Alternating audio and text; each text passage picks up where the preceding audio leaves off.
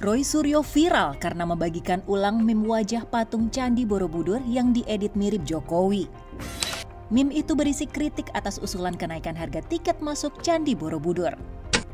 Ia akhirnya menghapus unggahannya itu dan memberi klarifikasi.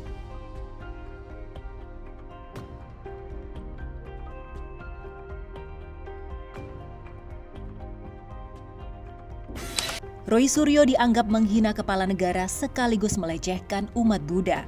Pasalnya, foto patung yang dijadikan meme itu adalah patung Siddhartha Gautama, sosok sakral bagi umat Buddha. Siapakah Siddhartha Gautama?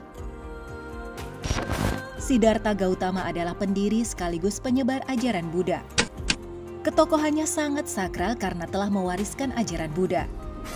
Secara khusus, istilah Buddha sendiri merujuk pada Siddhartha Gautama yang berarti seseorang yang telah mengalami pencerahan sejati.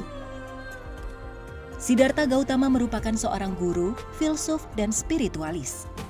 Ia tinggal dan mengajar di perbatasan Nepal dan India pada abad ke-6 hingga ke-4 sebelum Masehi.